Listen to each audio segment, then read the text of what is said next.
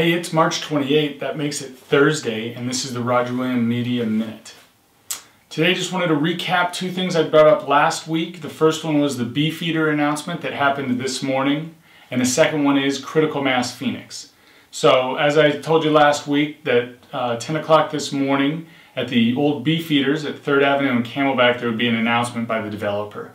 And it turned out that the announcement was a partnership between Changing Hands Bookstore, a restaurant and possibly a co-working space and the developer to rework the building at Beefeater used to be and make it into you know an awesome place. Changing Hands Bookstore is a locally owned bookstore, super awesome. They're in Tempe, so I don't really get to see them very often. So I'm very excited to get a location here on this side of the valley, uh, and definitely looking forward to spending some money there and getting some new books.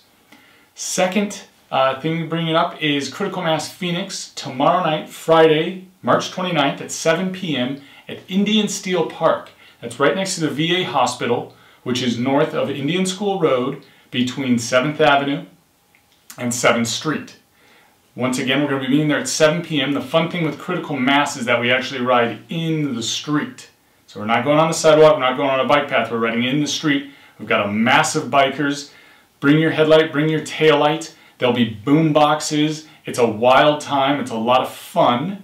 This ride, we're actually going to go about 12 miles. We're going to go straight down Indian School, take a right in Scottsdale, and head down to Papago Brewery in Tempe, which has got a lot of great beers, as well as uh, some really tasty food. It's going to be a lot of fun. Uh, I look forward to seeing you out there. It's a, it's a great um, event for people who are regular bikers. I would recommend that you've at least been biking at least once a month. Um, it's a decent pace, not super fast, not super slow, uh, but you know you, they, they don't want you to be dropped, so you know you need to keep up. So come on out, have some fun, and uh, let's just rock it. Tomorrow's Friday.